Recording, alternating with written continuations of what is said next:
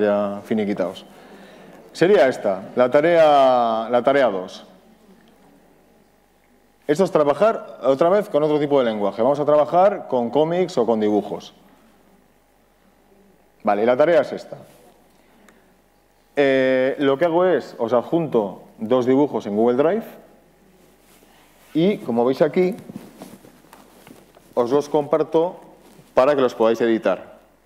¿Vale? Cuando nosotros adjuntamos documentos de Google Drive, en este menú desplegable tenemos la opción de que los alumnos puedan ver solamente el archivo, compartirlo en modo de lectura, que los alumnos puedan editar el archivo o hacer una copia para cada alumno. ¿De acuerdo? En este caso, vamos a hacer una copia para cada alumno porque quiero que sea un, trabajo individual. ¿vale? Son dos dibujos de Google Drive adjuntados y lo que tenéis que hacer es completar los globos de diálogo. ¿vale? Yo los, doy vacíos y tendríais que completar los globos de diálogo. Entonces, crearía la tarea. Ay, perdón, sí, sí, perdón, perdón, tienes razón. Perdona, tienes razón. Los dos. Creamos la tarea. Y entonces cada uno de vosotros ahora vais a tener una copia de esos archivos, una copia que, se ha compartido en modo de edición.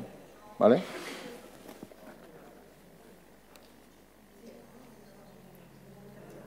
Entonces podríamos abrir los dos dibujos, elegimos el que más nos gusta y completamos los diálogos. ¿vale? Esta sería una tarea sencilla, utilizando otra vez otro tipo de lenguaje no escrito. ¿De acuerdo? Vale, tened en cuenta que todo lo que hacemos en Google Drive se guarda automáticamente. Luego en Google Drive eh, completamos los documentos y no tenemos que hacer nada más. Una vez que creemos que hemos acabado la tarea, lo que tenemos que hacer es volver a Google Classroom para marcar la tarea como completada. Pero en Drive no hacemos nada más. ¿Sí? ¿Esto queda claro? En Drive todo se guarda automáticamente, siempre volvemos a Google Classroom para completar la tarea.